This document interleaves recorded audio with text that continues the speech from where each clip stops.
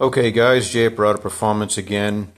Uh, just another quick one here. You get a lot of questions on this, and so we sell. This is a C6 transmission I'm working on.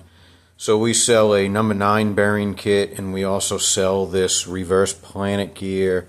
It's got a rolling roller bearing on each side. Um, kind of unique. I put the bearing on both sides. That way you don't have to buy a hub or anything else. So if you want to put a roll of bearings in these two positions, it's real easy. You just need one part. And I make this stock height.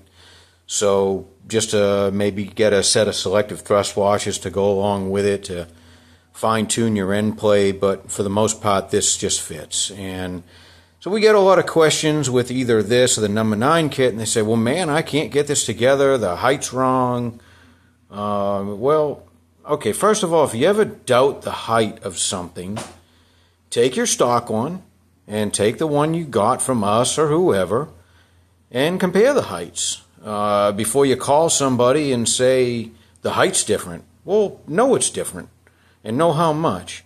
Most of the time it's not, it's just an assembly issue, which I'm going to show you here. Real common question, real common problem.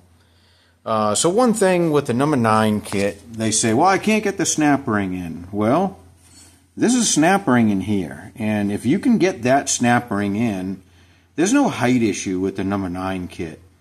What a lot of times people are referring to when they say that to me is the snap ring that goes on this outer edge here, which I'm going to put in a minute.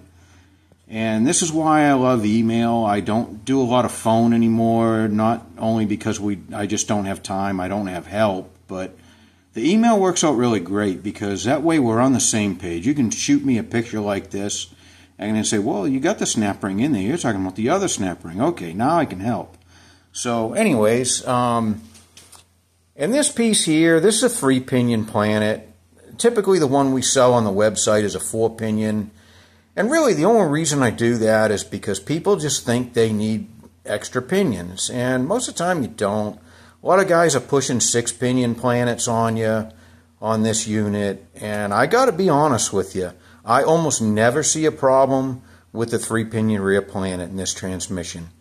If you have something that tows very heavy trailers, maybe a four pinion is in order, or some of these monster trucks and things, yeah, you know, they may need a four pinion. Very rarely do they need a six pinion. Six pinion I have used in some tractor pulls, things like that. But don't don't get caught up in this. This transmission I'm building here, it's it's a big engine, it's a drag car, it's a street car also, but primarily drag race. And it's making a lot of power, and this three pinion is going to be just fine. And the reason I'm using this is not to be cheap. It's because what do drag racers want? They want to reduce drag, which is our bearings here, and they want to save weight. So this is certainly a lot lighter than a six-pinion steel planet that you don't need. You're just adding weight to the reciprocating assembly.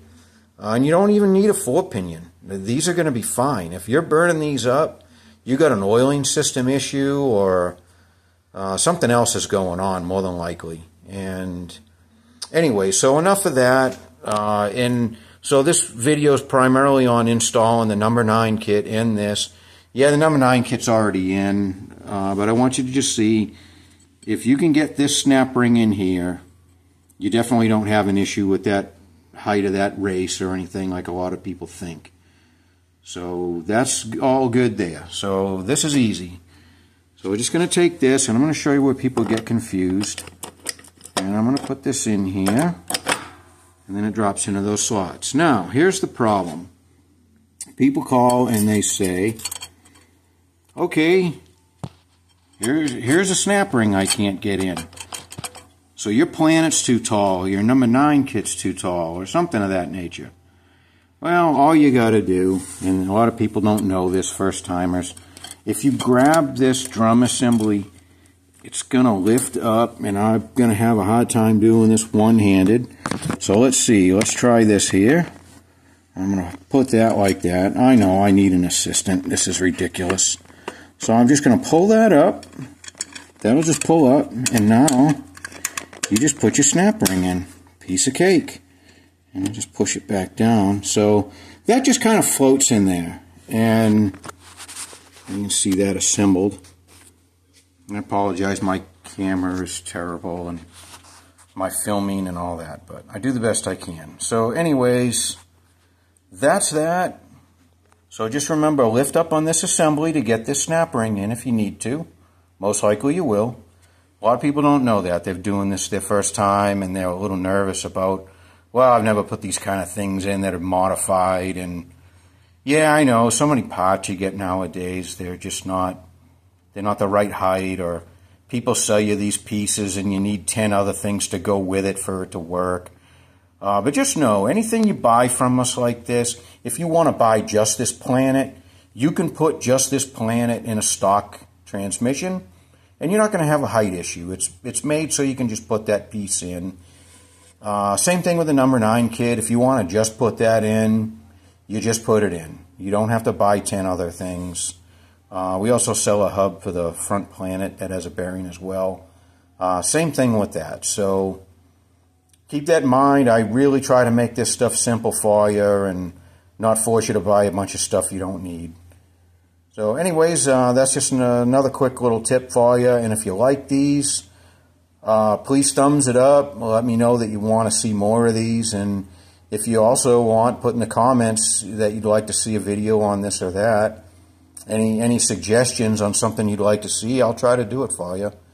Uh, but I'll, I'm going to keep doing more of these as I think of these things as I'm putting stuff together and have a few minutes. I'll keep doing these little videos for you and hopefully it helps and answers a lot of questions that people that are doing this for the first time just get confused on. Uh, okay, thanks for watching.